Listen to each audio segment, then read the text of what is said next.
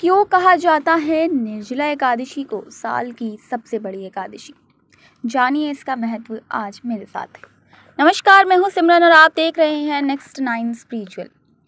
सनातन धर्म में एकादशी के दिन भगवान विष्णु और माता लक्ष्मी की विशेष पूजा का विधान है। सुख, शांति और समृद्धि प्राप्त करने के लिए इस दिन व्रत रखा जाता है। ज्येष्ठ माह के शुक्ल पक्ष में आने वाली निर्जला एकादशी सभी एकादशी में सबसे महत्वपूर्ण मानी जाती है।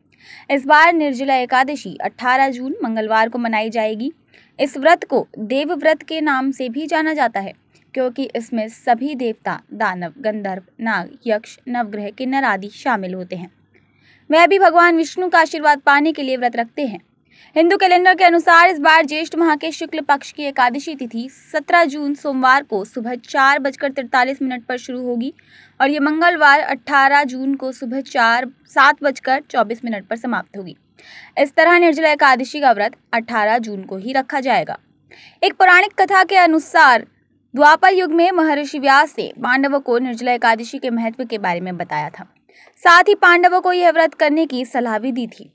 वेद व्यास ने कई प्रकार के फल देने वाली एकादशी व्रत का संकल्प कराया तो कुंती पुत्र भीम ने पूछा, हे भगवान, मेरे पेट में वृक नामक अग्नि है, जिसे शांत रखने के लिए मुझे दिन में कई बार भरपेट भोजन करना पड़ता है तो क्या मैं अपनी इस भूख के कारण एकादशी के पवित्र व्रत को नहीं रख पाऊँगा?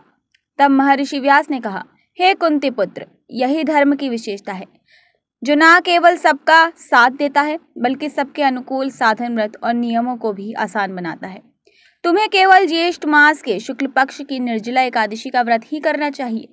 इस व्रत को करने से ही तुम्हें वर्ष की सभी एकादशियों का फल प्राप्त हो जाएगा, तथा तुम्हें इस लोक में सुख और यश मिलेगा, तथा वैकुंठ धाम की प्राप्ति होगी।